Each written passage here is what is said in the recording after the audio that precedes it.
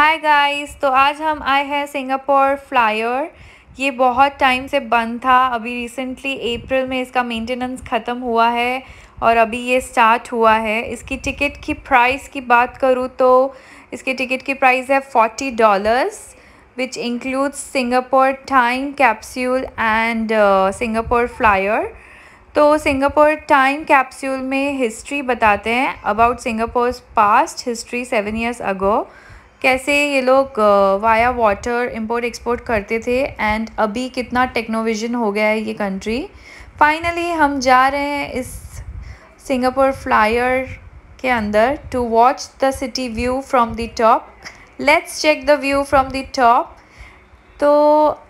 जो व्यू थी गाइस वो बहुत ही अमेजिंग थी।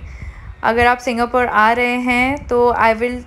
definitely recommend you to visit this flyer हम लोग ने बहुत इन्जॉय किया, बहुत सारी फ़ोटोज़ ली। ये हाफ़ एन आवर की जो राइड होती है you don't feel you are sitting in a capsule and then finally we ended our day with this Singapore famous bread ice cream